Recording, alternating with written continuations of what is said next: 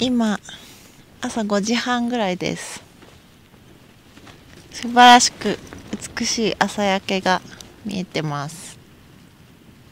赤い駒が綺麗に見えてる。昨日の夜はね何時頃か分かんないんだけど夜中に起きて星が超綺麗だったよ。オリオンがバーンって出てた。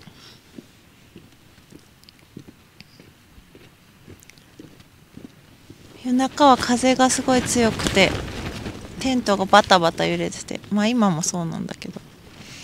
なんか最初の頃ちょっと寝つきが悪かったんだけどでもまあ5時半まで寝てたからね起きないで。だからそこそこ後半はぐっすり寝れたんだと思います。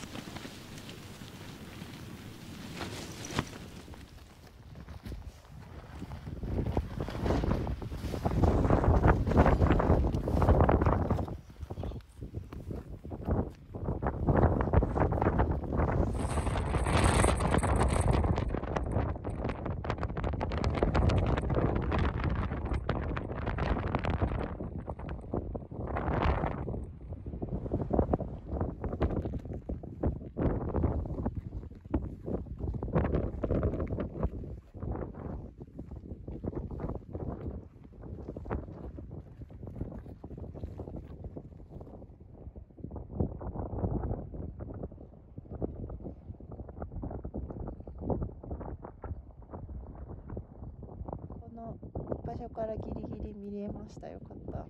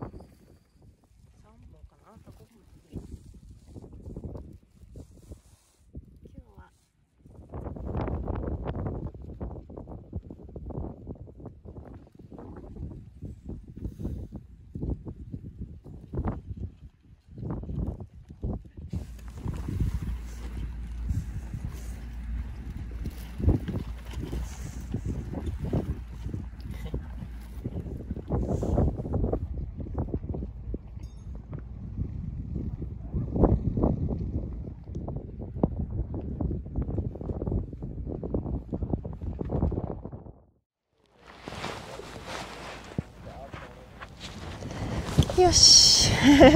出発です。今朝の7時15分ぐらい。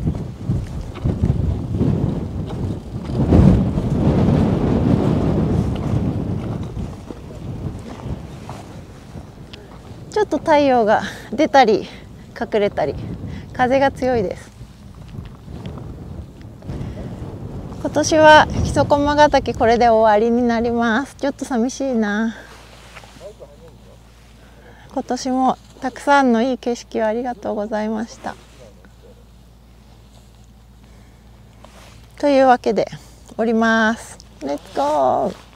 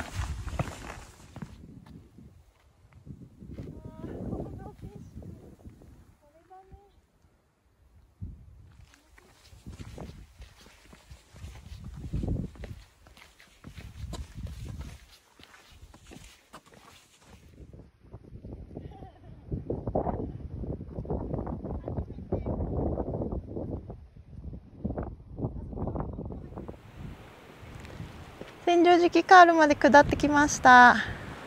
えっとねテント場を7時15分発だったから1時間5分ぐらいジャスト、まあ、1時間ぐらいでサクサクサクって降りてきた。途中上りの人がものすごい多かったんだけどみんな朝一のロープウェイで来て登ってきてるんですね。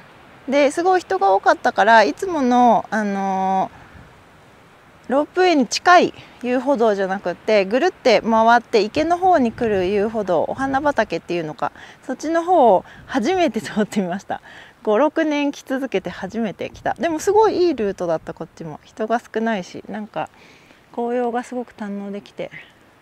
朝八丁坂最初下り始めた時は全然霧が晴れなくってあーなんか紅葉見れないのかな。昨日が最後だったかなって思ったらみるみる晴れてきて素晴らしい秋の登山そして紅葉ウォッチングになりました。では今日は午後から東京で仕事なんで 急いで帰ります。